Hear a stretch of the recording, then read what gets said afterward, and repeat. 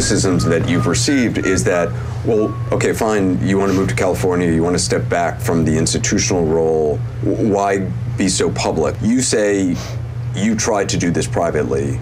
And every single time I've tried to do it privately, there have been briefings and leakings and planting of stories against me and my wife. You know, the family motto is never complain, never explain, but it's just a motto. And it doesn't really hold. There's a lot of complaining and a lot of explaining. Endless. Private being done in through leaks. Through leaks. They will feed or have a conversation with the correspondent.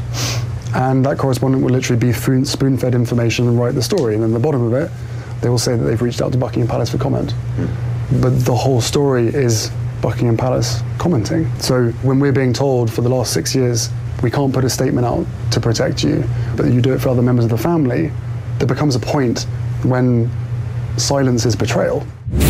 All right, Mark, what do you got?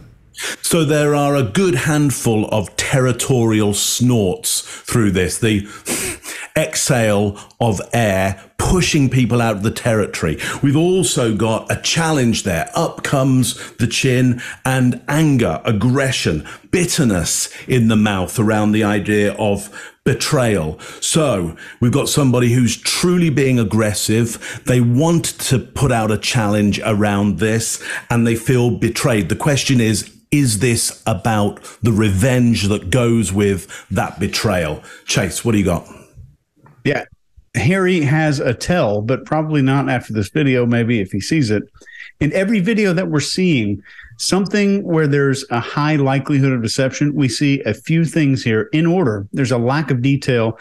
There's a down and left eye movement. This is how we research or you know, think about internal dialogue, what we're going to say.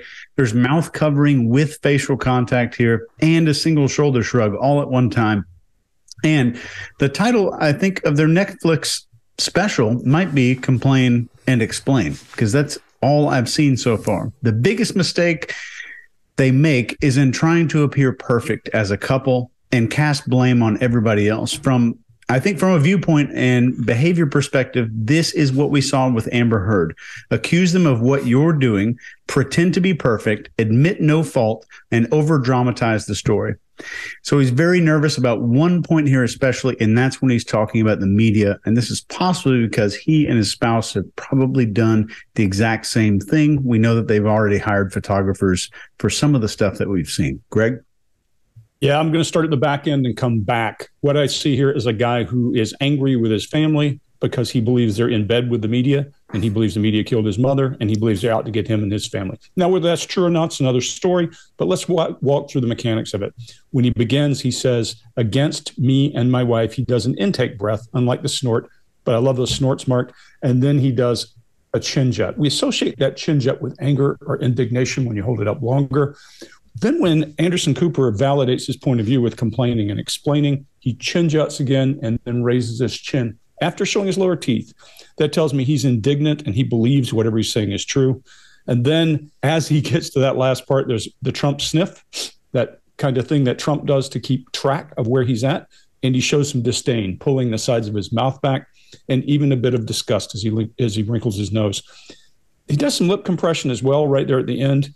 And I think he's withholding information about something, whether it's who, whether it's emotion, or what. When he says there is silence is betrayal. When he says that, he shows that disdain smile again. I think that all sums up and says what he believes. Scott, what do you got? All right, let's keep in mind, uh, let's compare his baseline from what we know from the other episodes we've done to this baseline. When he's by himself, his body language is completely different than when he's, when he's with Meghan. Now, what we're seeing here is he's much calmer. I think this guy has a cold or something because the sniffs we're hearing, we hear him during the questioning as well. So we pay attention to that. That for me, the, the sniffs mean nothing. They, they drop right out because I think he's got a cold and he's, he's sniffing for that. But, um, compared to his baseline, that's what we're seeing now. As well, we're not seeing as much movement as we usually see with him. We are seeing the illustrators, the things where he's um, emphasizing specific words and phrases, but he's keeping his hands and his arms closer to his body. They do go out some, but they're not as big. They don't go out as far. The eyewitness is you. One of the criticisms that you've received is that, well, okay, fine, you want to move to California, you want to step back from the institutional role. Why be so public? You say you tried to do this privately. And every single time I've tried to do it privately, there have been briefings and leakings and planting of stories against me and my wife. You know, the family motto is never complain, never explain, but it's just a motto. And it doesn't really hold. There's a lot of complaining and a lot of explaining. endless Private being done in through leaks. through leaks. They will feed or have a conversation with the correspondent, and that correspondent will literally be spoon fed information and write the story. And then the bottom of it, they will say that they've reached out to Buckingham Palace for comment. But the whole story is Buckingham Palace commenting. So when we're being told for the last six years, we can't put a statement out to protect you, but you do it for other members of the family, there becomes a point when silence is betrayal.